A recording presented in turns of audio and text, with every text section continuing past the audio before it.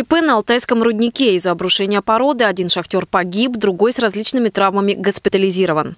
По данным Следственного комитета края, авария произошла накануне вечером на Карбалихинском руднике. Там находились два проходчика. В результате обрушения горной породы оба оказались под завалами, откуда их извлекли спасатели. Однако одного пострадавшего, 34-летнего сотрудника, спасти не удалось. От полученных травм он скончался на месте происшествия. По данному факту Змеиногорский межрайонный следственный отдел Следственного комитета России России начал проверку. Правоохранителям предстоит выяснить все обстоятельства произошедшего, а также дать правовую оценку сотрудникам, ответственным за безопасность работ на руднике.